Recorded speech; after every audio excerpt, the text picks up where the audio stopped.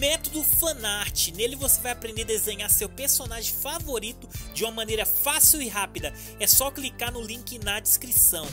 E aí pessoal, beleza? Ricardo Pimenta, como vocês estão? Espero que estejam muito bem. Galera, a gente vai falar hoje sobre Gotobun, esse anime de romance ali, simplesmente fantástico. Se você não viu, dá uma pausa nesse vídeo, corre pra ver que esse anime é simplesmente bom. São cinco menininhas ali lindas, né? Sabe, um anime lindo. Hum. O que? Foi tão de repente? Por que, que é todas com o mesmo penteado?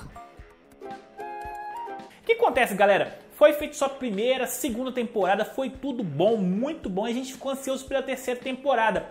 E eu vim trazer uma notícia para vocês que não vai ter terceira temporada. Na verdade, vai ter um filme, galera. Isso mesmo. Vou falar um pouquinho sobre a terceira temporada, mas primeiro eu vou falar sobre o filme. Então, em vez de continuar a terceira temporada, eles optaram por fazer um filme, galera, adaptando o arco final do mangá. Então você já sabe o que eu quero dizer. Eles vão adaptar o restante do mangá ficou um pouquinho ali. Dava para fazer terceira temporada, galera. Dava sim. Eles optaram pelo filme, não sei por qual motivo ou porque o final vai ser muito épico. Se você não sabe o final, não vou te dar spoiler, mas o final assim vai ser muito legal. Então eles decidiram adaptar os telões, galera. Então, basicamente eles vão adaptar tudo. Adaptando tudo, não vai ter material suficiente para continuar a terceira temporada. Ricardo, eles podem continuar?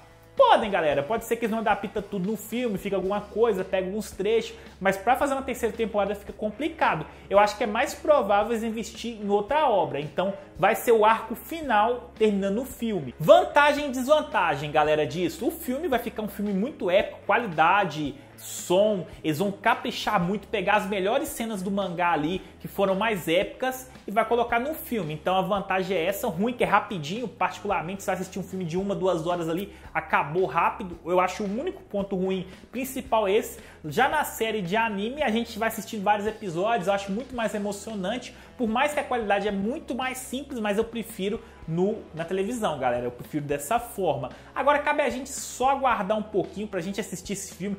Tá chegando, tá anunciado para 2022, galera. Já tem data 2022. Não tem uma data exata, né, galera? Eles vão anunciar o dia exato daqui uns dias, daqui uns meses, mais ou menos. Então, ano que vem você vai poder assistir esse anime de boaça e um filme fantástico. Infelizmente vai ser o arco final, galera. Então, terceira temporada é, infelizmente vai ser o filme mesmo.